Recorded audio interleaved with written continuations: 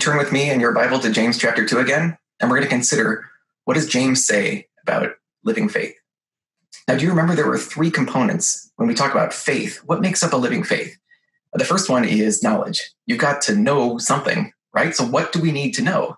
We need to know about our God. We need to know that God is the creator of heaven and earth and everything in it. We need to know that He's good, He's perfect, He's holy. We need to know that He created people to be made in His image. When He made the man and woman, they were made in His image. We are supposed to be good, perfect, and holy, like God is good. But instead of that, we also need to know that we have turned away from God. We're following after our own desires instead of the way He would like things to be.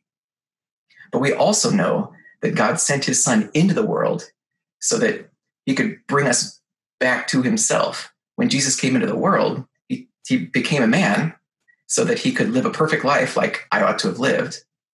He suffered and died for punishment that I should have taken and then he was buried, and then he rose up again, and now he's a living Savior. We need to know these things. This is the first part of faith knowledge. The second thing is to believe that they're true. It's one thing to hear something, know something, it's another thing to believe it. But there's a third critical part. And do you remember what that is? It's the idea of trust. And um, it's one thing to know something, but it's another thing to put your trust into it, to, to depend in it. And uh, that's, we had the example of a parachute. Remember, a parachute it's one thing to look at a parachute and say, wow, this looks like a good, pretty good parachute. But it's another thing to put that parachute on and leap out of the plane and put your trust into it. And so when we talk about believing in Jesus, we're talking about a living faith. We're talking about a faith that doesn't just believe the truth, but that depends on it. Their life is changed because of their trust in it. And that's the question that James is asking, he's posing to us in this trial of living faith. Is that the faith that we're enjoying? Do we have this living faith or is it dead? Does it produce or is it fruitless? And so let's consider this test. And so I'm going to read in James chapter 2, starting in verse 20. He says this You foolish man, do you want evidence that faith without deeds is useless? Was not our ancestor Abraham considered righteous for what he did when he offered his son Isaac on the altar? You see that his faith and his actions were working together, and his faith was made complete by what he did. So James introduces us to the first of two examples to demonstrate what this living faith looks like. And the first one is Abraham. And if you want to turn with me to um, Genesis 22, way at the beginning of the Bible, um, we're going to hear the account of Abraham, how he offered his son Isaac. And let me set the background. When Abraham was 75 years old, um, God called him. This the knowledge of God was almost lost in the world. And God called him out of this other land. He said, Follow me to the place that I'll show you. And so at age 75, he packed up his wife and his family and they moved to the place where God said. Maybe 10 or 12 late years later, Abraham's in his mid 80s now, and he's been following God for a while, and God repeats the promise to him. And one of the blessings that God promised to Abraham was that um, that he would be made into a great nation. He would have children, and they would have children, and they would turn into this great nation. But now at age 85, and his wife Sarah, similarly, is um, has not had, she's 75 and they have not had kids yet. God repeated his promise, and Abraham said, Sovereign Lord, um, what can you give me? Because I remain childless. And God repeated the promise again. He took Abraham outside and said, Abraham, look, look at the stars in the sky. Count them if you can. Just like those stars in the sky, that's how many your children will be. And it says, Abraham believed God, and it was counted to him as righteousness. He trusted God. Even though Abraham couldn't see God's promise yet, he trusted him and his life oriented towards God's word. And finally, when Abraham was 100 years old and his wife was 90, 25 years after he was first called by God, the day finally came when God gave them their child, their son, Isaac, the, the fulfillment of God's promise. So now, Genesis chapter 22 is where we are. This is maybe another 15, 20 years later. Um, and sometime later, God tested Abraham. He said to him, Abraham, here I am, he replied. And then God said, Take your son, your only son, Isaac, whom you love, and go to the region of Moriah. Sacrifice him there as a burnt offering on one of the mountains that I'll tell you about.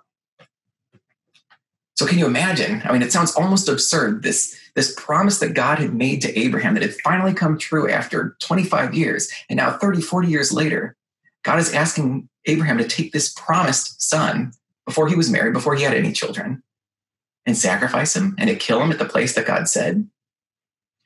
But this is where Abraham demonstrates his true and living faith. He had, he had walked with God so long now that he knew that God was trustworthy. He's seen God's promise against all odds in giving him this son to start with.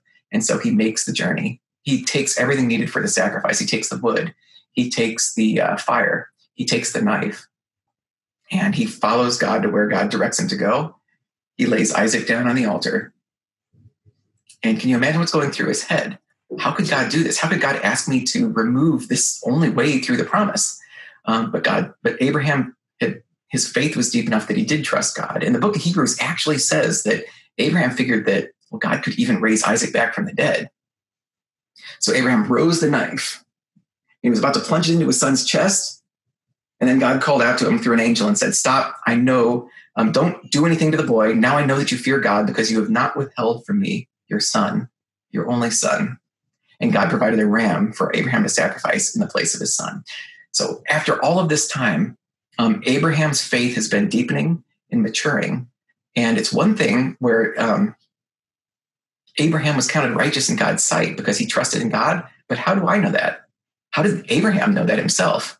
It's when he demonstrated this amazing act of faith and trust in God. So going back to James chapter 2 and picking up in verse 22, he says, You see that his faith and his actions were working together, and his faith was made complete by what he did. And the scripture was fulfilled that says, Abraham believed God, and it was credited to him as righteousness and he was called God's friend.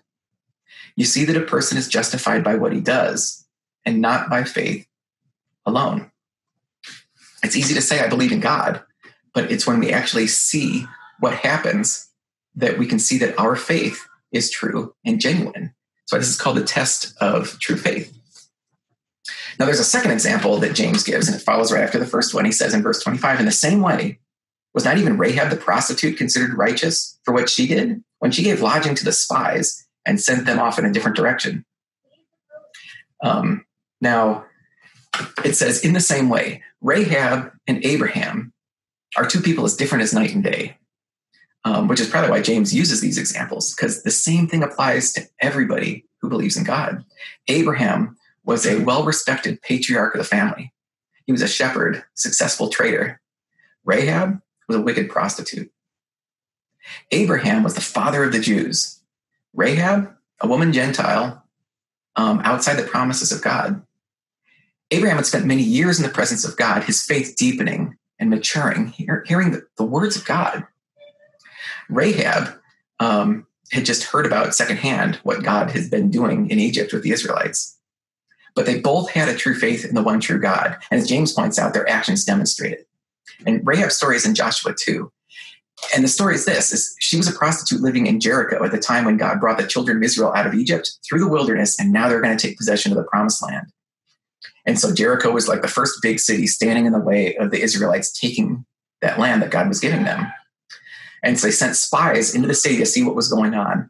And um, and um, she didn't know much about God, but she did know that he what he had done to the Egyptians, and she did know um, that, that, that he was going to win in the end. Um, so when the spies came into the city, Rahab realized who they were. She helped them. She switched teams. She went from Team Jericho to Team Israel because she knew that following the true God was the path to life. She didn't know much, uh, but she knew that. She risked her life to save those spies. She knew that she was giving up her old way of life to go join another nation. And that's what marks true faith. It's such a trust in God that you turn away from the things that are precious to you and you turn toward God, who is the way to life. And so James concludes with verse 26. He says, As the body without the spirit is dead, so faith without deeds is dead.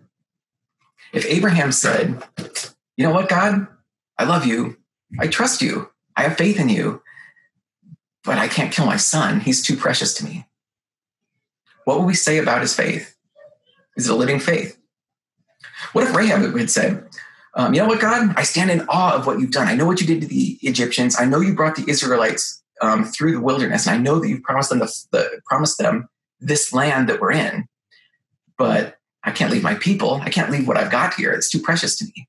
What kind of faith would that be? So, true faith, a faith that's alive, a faith that saves, is one in which you treasure God above other things. You trust God's word instead of trusting even your own wisdom and your own thoughts. And in that treasuring, in that trusting, it changes the way that we live. It makes a difference. None of us is perfect. Um, we're, I still sin every day in my thoughts, my words, in my deeds. But, but if we possess this living faith, we don't wallow in that sin. We don't just sit there and don't care about it. We don't ignore it. No, what we do is we hate it. We we confess our sins to God. We turn away from our sins and, and, and, and try to follow after him like we ought to. Right? That's what it means to, to, to have this living faith. Paul says in Galatians 2:20, I've been crucified with Christ, and I no longer live, but Christ lives in me. The life that I now live in the body, I live by faith in the Son of God who loved me and gave himself for me. When Jesus says he gave himself for us, it's not only to take away our punishment, but it's to give us this life, the life that I now live in my body, the life that I live now. I live by faith, which means that I trust what God says. My whole life orients that way. So you can can you understand this trial of um, trial of living faith? What James wants us each to ask ourselves is: My faith is it alive or is it dead? Is it orienting my life in a certain direction? Can you see my trust in the Lord? Or do I look just like everybody else who doesn't know the Lord? Do we have a living faith that's vital? Do we have a dead faith that is useless? And that's the question that he asks us. So I know these are kind of heavy things, maybe difficult to understand, but, but pray to God for understanding. Read through James chapter 2 again.